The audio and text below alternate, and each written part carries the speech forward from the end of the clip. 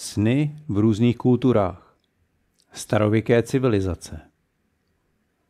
Mezopotámie a Egypt. Sny jako božská poselství a proroctví.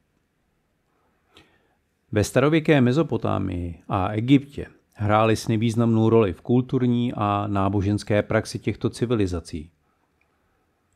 Věřili, že sny jsou prostředkem božské komunikace a kanálem, jehož prostřednictvím božstva předávají lidem poselství a proroctví. V Mezopotámii byly sny vysoce ceněny a jejich výklad byl základním aspektem kultury. Mezopotámci věřili, že sny jsou poselstvími od bohů a věřilo se, že někteří jedinci, například kněží a věžci, mají schopnost tato božská poselství interpretovat.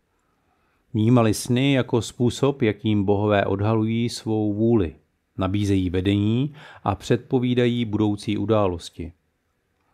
Králové a panovníci často hledali vedení prostřednictvím snů a věřili, že jim pomáhají nahlédnout do státních záležitostí a důležitých rozhodnutí. Podobně i ve starém Egyptě byly sny považovány za posvátné a významné. Egyptiané věřili, že sny jsou formou komunikace mezi lidmi a božskou říší. Domnívali se, že bohové a bohyně vstupují do mysli snícího a prostřednictvím symbolických obrazů mu předávají poselství nebo varování. Sny byly považovány za přímé spojení s duchovním světem a byly brány vážně v otázkách osobního, společenského a politického významu. Kněží a věžci hráli při výkladu snů zásadní roli a poskytovali pokyny jednotlivcům a dokonce i faraonům.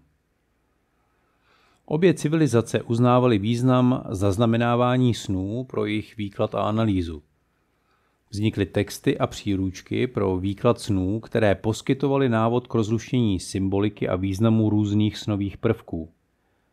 Tyto texty popisovaly konkrétní snové symboly a jejich výklad, což jednotlivcům umožňovalo hledat vedení a činit informovaná rozhodnutí na základě svých snů.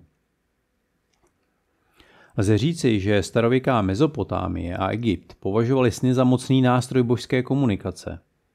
Sny byly považovány za prostředek, kterým bohové předávali zprávy, nabízeli vedení a poskytovali vhled do budoucnosti. Výklad snů hrál v těchto kulturách významnou roli. Kněží a věžci se specializovali na dešifrování symboliky a poselství obsažených ve snech. Zaznamenávání a analýza snů patřily k základním postupům, které jednotlivcům pomáhaly při přijímání důležitých rozhodnutí a pochopení jejich místa ve vesmírném řádu.